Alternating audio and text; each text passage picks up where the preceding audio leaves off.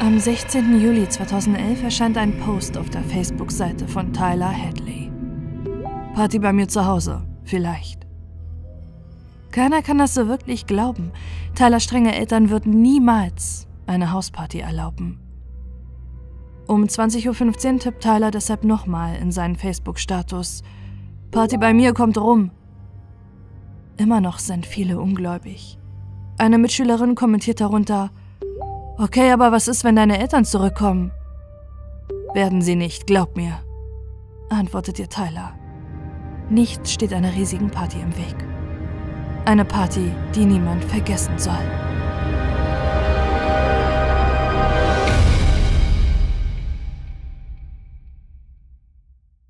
Tyler.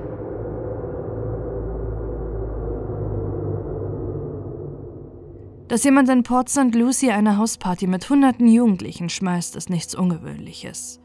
Doch dass eine solche Party bei den Hadleys stattfinden soll, ist eine Seltenheit. Noch nie haben Tylers Eltern sowas erlaubt und jeder in seiner Highschool weiß, wie streng die Eltern mit ihrem 17-jährigen Sohn sind. Tyler wächst als jüngster von zwei Söhnen von Mary Jo, einer Lehrerin, und Blake Hadley, einem Ingenieur im örtlichen Kernkraftwerk auf. Er ist ein fröhliches, höfliches Kind, das eine sehr enge Bindung zu seinen Eltern hat.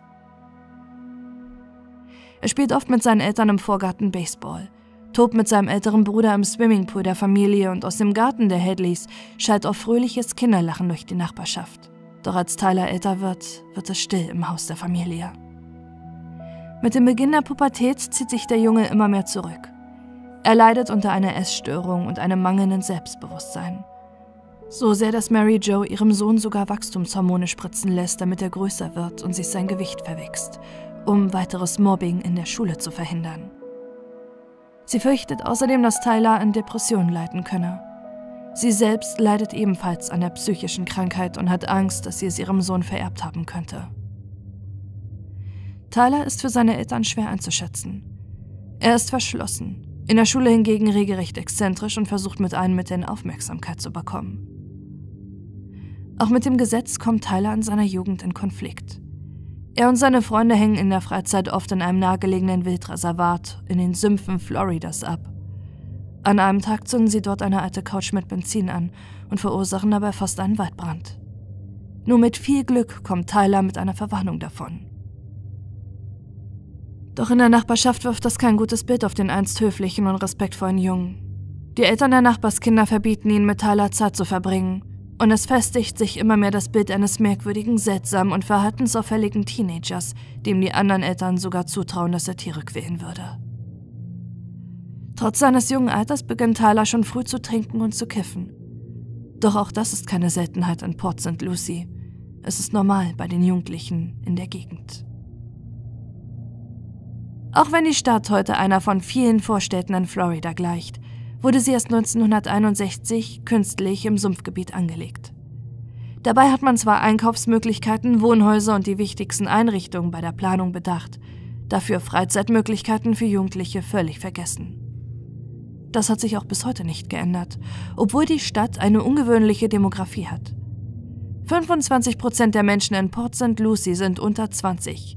Eine ungewöhnlich junge Stadt, die ihnen trotzdem nichts bieten kann.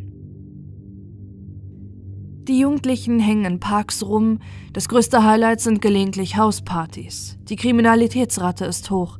Verhaftungen wegen Vandalismus, Einbrüchen und Sachbeschädigungen stehen an der Tagesordnung. Meist nur aus Langeweile. Auch der Drogenkonsum ist in der Stadt extrem hoch. Rapide gestiegen ist er zusätzlich seit der Immobilienkrise 2008, als in den leerstehenden Häusern Drogenlabore und Grasplantagen hochgezogen wurden. Auch Tyler begeht aus Langeweile Einbrüche. Als er im April 2011 noch in eine Schlägerei verwickelt ist, wird er wegen gefährlicher Körperverletzung zu einer Woche Haft im St. Lucie County Gefängnis sowie zweiwöchigen Hausarrest verurteilt. Seine Eltern sind entsetzt darüber, wie es so weit kommen konnte. Sie haben immer versucht, trotz der Probleme ihn fair zu behandeln, doch scheinbar müssen sie strenger mit ihm sein. Sie schicken ihn mehrmals in psychische Behandlung und zu einem Drogenmissbrauchsprogramm. Denn obwohl Tyler erst 17 ist, ist die Liste an Drogen lang, die er zumindest schon mal ausprobiert hat. Xanax, Gras, Alkohol, Ecstasy, Ketamin und Crack. Ungewöhnlich ist das für einen Jugendlichen in Port St. Lucie jedoch nicht. Fast alle aus seiner Klassenstufe haben bereits Drogen konsumiert. Nach seiner Haftstrafe nimmt ihm seine Mutter sein Handy ab. Er ist die meiste Zeit allein in seinem Zimmer. Sein 23-jähriger Bruder ist erst vor kurzem ausgezogen. Die einzige Möglichkeit, mit seinen Freunden und Freundinnen Kontakt zu halten, ist am PC über Facebook. Am Tag seiner Haftentlassung schreibt er dort mit einer Freundin Isadora folgendes. Schreib mir nichts über Drogen. Was ist passiert? Meine Mutter hat mein Handy, weil ich letzten Montag verhaftet wurde und sie ist total am Ausflippen. Bin heute erst wieder nach Hause gekommen. Oh Mist. Ist richtig scheiße. Böser Junge. Du bist so verrückt. Was machst du gerade? Nichts. Denke an Selbstmord. Äh, warum? Hm. Ich denke, weil ich sterben will. Welche Gründe gibt es sonst? Meinst du das ernst? Ja. Manchmal will ich sterben. Stirb nicht. Rauch eine Bong, wenn du down bist. Habe ich früher gemacht, jetzt trinke ich, wenn ich deprimiert bin. Füllt meine innere Leere aus. Es ist nicht das erste Mal, dass Tyler über Suizidgedanken schreibt. Es ist aber auch nicht das einzige Mal, dass er sich über seine Eltern und vor allem seine Mutter Mary Jo auslässt. Am 2. Juli 2011, als sie ihm erneut sein Handy weggenommen hat, schreibt er seine Schulfreundin Mercedes in einem Facebook-Chat. Lol. Ja, sie ist so eine Fotze, das ist klar. Ich könnte sie umbringen. Oh mein Gott, kein Gefängnis, lol. Nun ja. Doch viele halten den Hass gegen seine Mutter schlichtweg für übertrieben und als erneuten Versuch, irgendwie im Mittelpunkt zu stehen. Denn Tyler kann auch anders.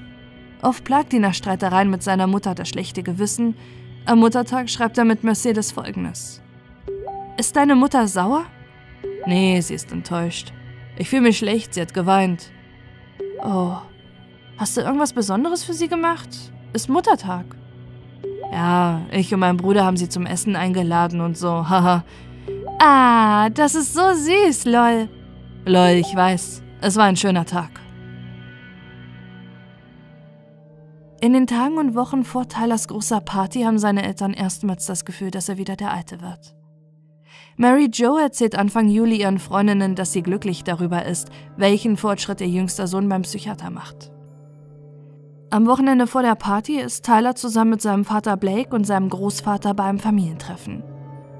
Ich habe keine Anzeichen dafür gesehen, dass es irgendwelche Probleme zwischen Tyler und seinen Eltern gab, erinnert sich später sein Großvater. Einen Tag vor der Party gehen Mary Jo und Blake zusammen mit ihrem Sohn essen. Zufällig trifft er dabei einen Freund. Bei der Verabschiedung lädt Tyler ihn zu seiner Hausparty ein, die einen Tag später, am 16. Juli 2011, stattfinden soll. Eine Party, die Tyler schon lange geplant hat. Wochenlang hat er in der Highschool erzählt, dass er eine riesige Party schmeißen will, nur seine Eltern müsse er dafür loswerden. Geglaubt hat ihm das niemand und es wieder nur für eine der vielen Geschichten von Tyler gehalten, um im Mittelpunkt zu stehen.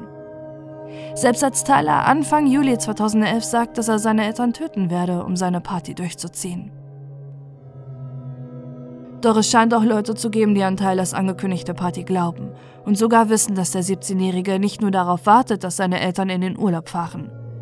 Zumindest lässt das ein kryptischer Chat vermuten, den er am Morgen seiner Party mit seinem Freund Matt führt. Hast du es gemacht? Nein, aber werde ich. Wetten? Solltest du jetzt machen. Mach's. Keine Sorge mache ich, dann schmeiße ich eine Party. Yeah, Partytime, Alter! Die Party.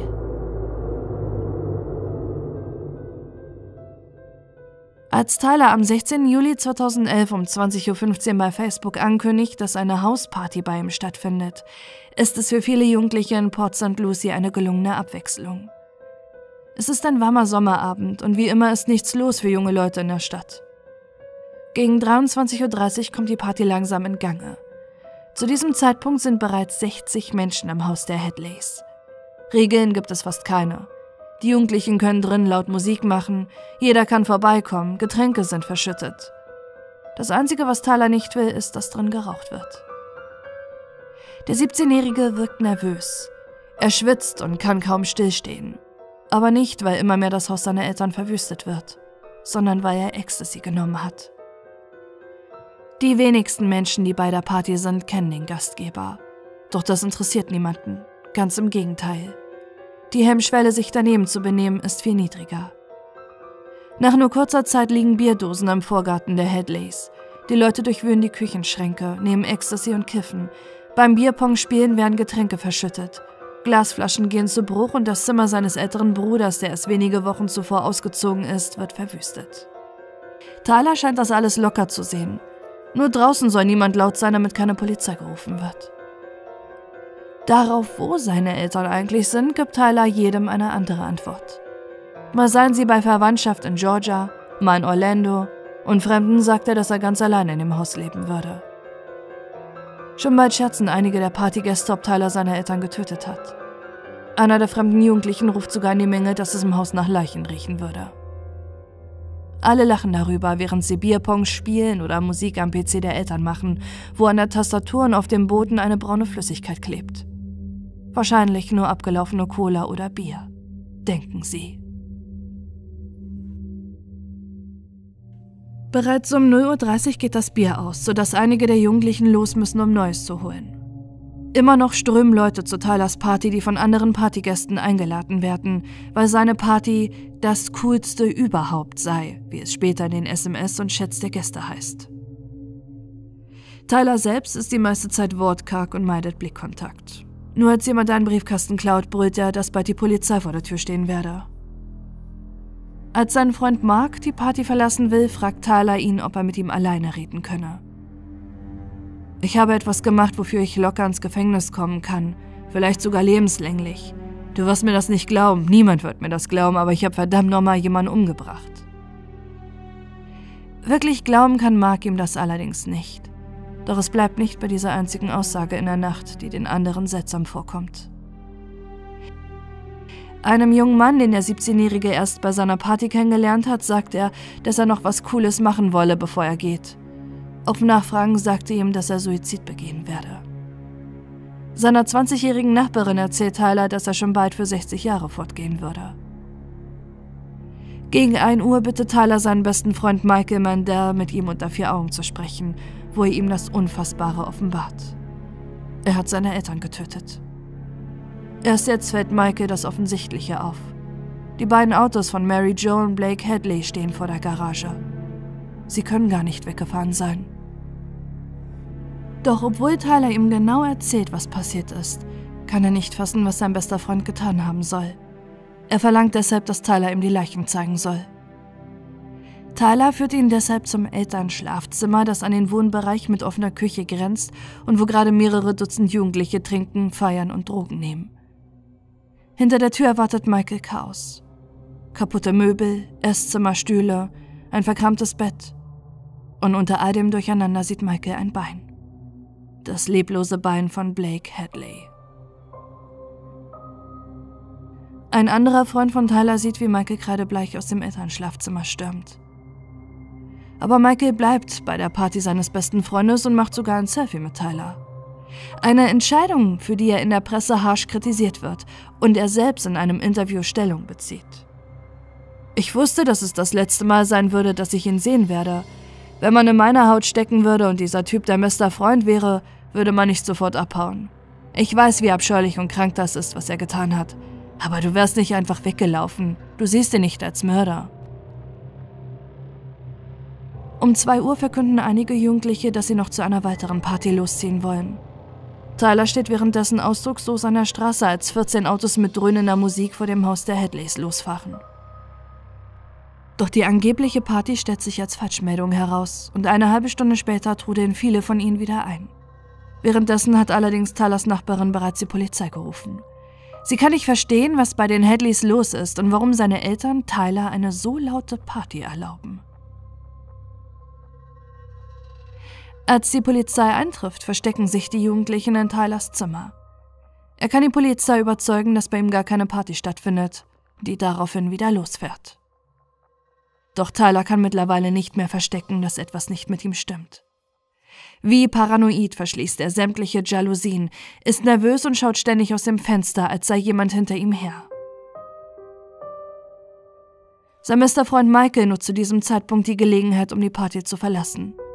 Davor versteckt er noch zehn Oxycodon-Tabletten, mit denen Tyler Suizid begehen will, wie er ihm angekündigt hat. Als um kurz nach drei Uhr langsam alle Leute gehen, kündigt der 17-Jährige an, am nächsten Tag nochmal eine Hausparty schmeißen zu wollen. Auf einen Facebook-Post, der sich bei ihm für die Party bedankt, antwortet Tyler, dass es morgen weitergehen würde. Um 4.40 Uhr postet er als Facebook-Status Wieder Party bei mir zu Hause. Um kurz vor acht schreibt einer seiner Freunde als Kommentar Bro, was ist in deinem Haus los? Es ist 7.57 Uhr und da ist lauter Polizei auf der Straße. Ich hoffe, bei dir ist alles okay, gib mal Bescheid. Doch Tyler kann den besorgten Kommentar seines Freundes nicht mehr lesen. Kurz nachdem er seinen letzten Facebook-Post in den frühen Morgenstunden postet, klingelt es erneut bei den Headleys. Diesmal stehen aber keine betrunkenen Jugendlichen vor der Tür, die feiern wollen. Es ist die Polizei. Sein bester Freund Michael hat sie verständigt.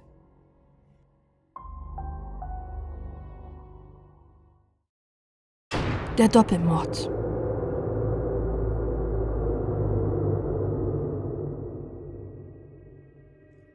Um 4.32 Uhr am Sonntagmorgen treffen die ersten beiden Polizeibeamten ein. Nur noch Tyler ist im Haus. Sie sehen von draußen, wie er seinen Facebook-Post verfasst, Selbstgespräche führt und dabei einen verstörenden Gesichtsausdruck hat. Im späteren Polizeibericht steht, seine Augen waren weit aufgerissen und er blinzelte nicht. Sie sehen von draußen mit an, wie der 17-jährige Bücher auf den Boden und gegen die Wände schleudert, bevor sie schließlich klingeln und Tyler ihn mit den Worten öffnet, führt mich einfach ab. Zwischen dem ganzen Chaos im Haus, den verschütteten Getränken, den demolierten Möbelstücken und den Glasscherben offenbart sich der Polizei der grausame Doppelmord, der sich kurz vor der Party ereignet hat und den Tyler detailliert noch bei der Party seinem besten Freund Michael und schließlich auch der Polizei schildert. Es ist der 16. Juli 2011 um 17 Uhr. Tyler weiß, dass er seit Wochen seine Hausparty angekündigt hat und dass ihm nicht mehr viel Zeit bleibt. Er hat die Handys seiner Eltern versteckt, damit sie ihrem Sohn hilflos ausgesetzt sind. Um sich laut eigener Aussage in Stimmung zu bringen, hört Tyler Musik und nimmt dann drei Ecstasy-Pillen, weil er weiß, dass er sonst seinen mörderischen Plan nicht durchziehen könne. Aus der Garage holt er einen Hammer und geht ins Wohnzimmer. Dort sitzt mit dem Rücken zu ihm seine Mutter Mary Jo am Computer. Fünf Minuten steht er wie erstarrt im Zimmer, bevor er den Hammer hebt und auf den Kopf seiner eigenen Mutter einschlägt. Von den Schreien seiner Frau alarmiert, rennt sein Vater Blake ins Wohnzimmer. Auch wenn er seinem hageren Sohn körperlich überlegen ist, ahnt er nicht, was ihm im Wohnzimmer erwartet und dass sein eigener Sohn mit einem Hammer auf ihn losgeht. Nachdem er seine eigenen Eltern getötet hat, wickelt Tyler um ihre Köpfe Handtücher, zieht ihre Leichen ins Schlafzimmer und legt sie mit dem Gesicht nach unten auf den Boden. Über ihn stapelt er Möbel, Bücher, Kissen und sämtliche Beweismittel, an denen Blut klebt bevor er duschen geht und sich im Badezimmerspiegel selbst anlächelt. Danach versucht er drei Stunden lang das Blut aus dem Wohnzimmer wegzuwischen. Es dauert länger, als er erwartet hat, und er muss sich beeilen, schließlich kommen bald seine Partygäste, die neben der verschlossenen Schlafzimmertür, hinter denen zwei Leichen liegen, feiern werden. Dass es Tyler nicht mal schafft, das ganze Blut vom PC und dem Boden zu entfernen, fällt den Jugendlichen allerdings nicht mal auf. So dreckig, wie es nach kurzer Zeit bei der Party ist, halten alle die braun verkrusteten Flecken für verschüttete Getränke. Tyler selbst sagt nach den Morden, dass der Medikamentenmissbrauch schuld an allem sei. Seinem Freund Michael schreibt er in einem Brief, dass er vom Teufel besessen durch die vielen Psychopharmaka sei, die ihn schlussendlich zu einem Doppelmord trieben. Ich wünschte, ich hätte nie angefangen, diese verdammten Tabletten zu nehmen. All das wäre nie passiert. Ich bereue alles, was ich getan habe. Ich schwöre, das sind diese Drogen. Was ist in dem Brief an Michael? Michael hingegen ist sich sicher, dass Tyler die Morde von langer Hand geplant und gewartet habe, bis sein älterer Bruder ausgezogen war. Auch ein Mitgefangener belastet Tyler schwer. Ihm gegenüber zeigt er keinerlei Reue und erzählt, dass er den Mord an seinen Eltern und die anschließende Party drei Wochen geplant hat. Er sagt zu ihm in Haft außerdem, du hättest zur Party kommen sollen, es war supergeil. 2014, als Tyler 20 Jahre alt ist, beginnt der Prozess gegen ihn. Seine einzige Angst, lebenslänglich zu bekommen, bewahrheitet sich. Tyler Hadley wird zu lebenslanger Haft ohne Aussicht auf Bewährung verurteilt. Zwei Jahre später wird das Urteil aufgehoben. Da er zum Zeitpunkt der Morde erst 17 Jahre alt war, sieht der Berufungsrichter das Urteil als zu hoch an. 2018 wird Tyler erneut verurteilt. Zwar immer noch zu lebenslänglicher Haft, allerdings mit der Möglichkeit auf Bewährung. Dass Tyler Reue zeigt, lassen zumindest die Briefe an seine Großeltern vermuten. Im Gegensatz dazu steht allerdings seine Fanpost, die er ins Gefängnis bekommt und deren Antworten er mit Hammer Time unterzeichnet, als wolle er seine Eltern noch über den Tod hinaus verhöhnen. Auch in Port St. Lucie zeigen viele Jugendliche mehr Mitgefühl für Tyler als für seine Opfer. Ein Jahr nach Tylers Party wird sogar ein 14-Jähriger aus Port St. Lucie aus Angst vor Nachahmungstätern vernommen. Er hat mit einem Mitschüler einen Vertrag zur Ermordung seiner Eltern für 1200 Dollar geschlossen. Viele der Jugendlichen aus der Stadt geben seinen Eltern die Schuld, sie hätten ihn zu sehr eingeschränkt. Und gegenüber den zahlreichen Berichterstattungen und Kamerateams, die sich plötzlich in der Stadt tummeln, sagen sie, dass jeder von ihnen unter Drogen schon mal Fehler gemacht hätte. Vielmehr scheinen sie Tyler Bewunderung zu zollen. Oft betonen sie in ihren Interviews, wie wahnsinnig und cool die Nacht war. Schließlich können sie auch noch in 20 Jahren sagen, dass sie bei der Party war, die Port St. Lucie weltbekannt gemacht hat.